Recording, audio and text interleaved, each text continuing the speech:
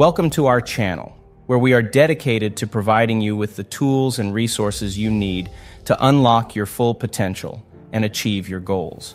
Whether you're looking to improve your career, relationships, or personal growth, we're here to help you every step of the way. In this video, we will be diving deep into the motivational secrets of Dr. Joe Dispenza, a renowned author and speaker in the field of personal development. Dr. Dispenza has helped thousands of people unlock their mind's full potential and achieve their goals through his best selling books and frequent speaking engagements at conferences and events around the world. In this video, we will be sharing some of his most valuable insights and techniques to help you unlock your mind's potential and achieve success in all areas of your life. So sit back, relax, and let's get started on this journey towards personal growth and success. We are all supernatural creatures. Each of us has a small but vital organ that is essential to our consciousness and spirituality. In science, it's known as the pineal gland. In the spiritual realm, it is known as the third eye. The pineal gland is part of the endocrine system and is located in the brain. The pineal gland's primary job is to regulate our natural rhythms, processes, dreams, and spiritual experiences. When the pineal gland is stimulated, our levels of consciousness increase substantially. There is a connection between our spirit, soul, and body. Each energy center is defined by the chakra system, which includes an internal organ and unique nerve bundles. In our situation, the pineal gland is related with the third eye chakra, which is placed between the brows. The eye and the element of light are related with the chakra. Imbalances in the chakra appear as physical complaints such as blindness, memory loss, and blurred vision. The pineal gland is an energy hub that receives spiritual messages. It appears to activate when people experience peace, prediction of things, and higher consciousness. Did you know that years of meditation can cause the brain to grow in size? This little organ connects the physical and spiritual bodies. The pineal gland, as part of the endocrine system, is responsible for the generation of melatonin and serotonin. Serotonin and melatonin are chemicals that regulate our mood, sleep, and emotional well being. DMT, on the other hand, is a hormone that is released during spiritual and mystical experiences, dreaming, and when the organs collapse. The ability to connect the physical and metaphysical realms is critical for spiritual development. Quantum science characterizes us as electric beings in a state of resonance with the Earth's electromagnetic fields. To activate the pineal gland, the body and spirit must vibrate in unity. So, how can you harness the pineal gland's power? Meditation, sun gazing, mantra chanting, and breathing exercises can all help to activate the third eye. You can activate the third eye by breathing in and compressing the air by your body's energy centers. While holding your breath, imagine the energy remaining at the top of your head. This causes the spinal fluid to rise to the pineal glands, causing them to activate. In this state, your mind and body shift from survival to conception. To have a better understanding of how this works, it will be explained in the continuation, each scientific term, its function, and its location in the body. This breathing technique involves closing the airway in order to increase pressure in the nasal cavity. Holding your breath will allow more oxygen into the pineal gland.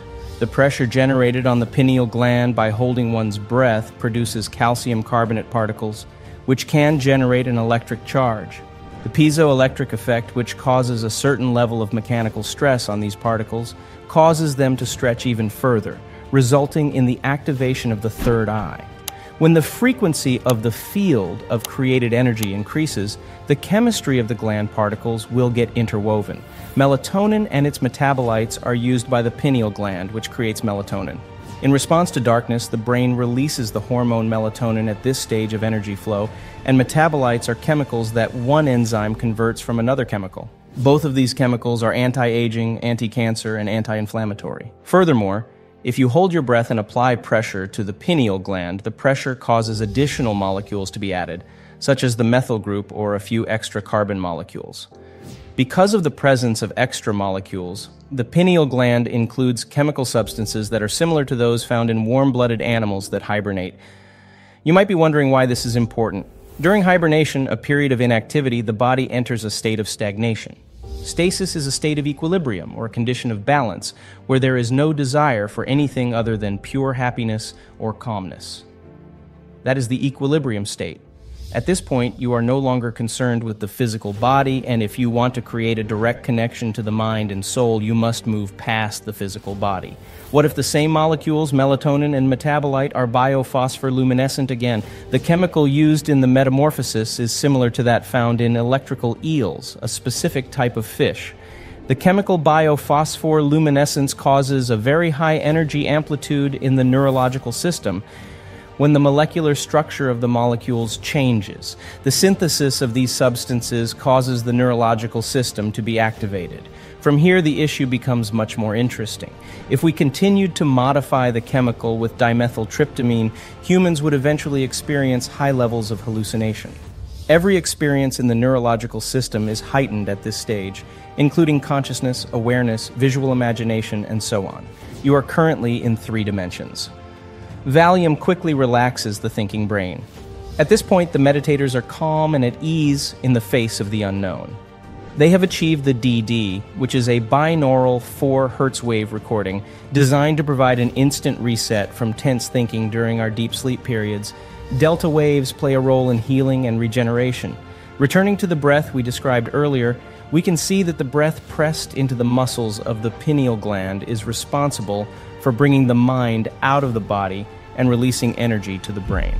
According to research, when a meditator reaches the high gamma level, the brain produces the fastest brain waves. The brain's center connects to the brain's back, producing a realm with unlimited time and space, a realm with all dimensions and no past, life, or future. When this stage occurs, the human is comparable to the evolution of its soul, in which things become clear to the human and the human realizes that we are spiritual creatures living supernatural lives.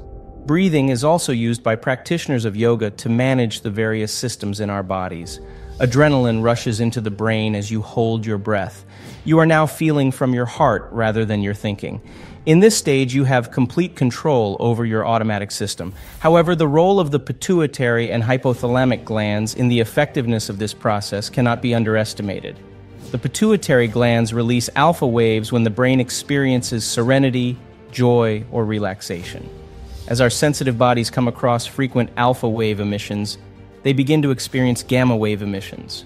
When our brains are deep in meditation and our third eye and crown chakras are active spiritually, gamma waves are released. The hypothalamus and pituitary glands are linked to the crown chakra Sahasrara, which is located at the top of the head. The chakra governs consciousness, memory, and awareness. The crown chakra is related with our feeling of being, wholeness, significance, and world perception. Understanding that we are multidimensional beings opens the door to comprehending that you have the ability to create. Learning this truth begins with initiating the movement of energy in the prana tube, a tube in the body. The pranic tube is the axis or core for the toroidal energy field that surrounds your body and creates a current by activating the neurons as it passes through each center. Finally, your body accepts an energy current, allowing you to feel more connected to non-physical energies. Thank you for watching this video on how to unlock your mind's potential with Dr. Joe Dispenza's Motivational Secrets. We hope you found this video helpful and learned something new. Remember, the key to unlocking your mind's potential is to stay motivated, focused, and take consistent action towards your goals. Your feedback is important to us, so please feel free to leave any questions or suggestions for future videos in the comments section below. We appreciate your support and look forward to continue creating content that adds value to your life. Don't forget to turn on notifications so you never miss a video and please share it with your friends and family.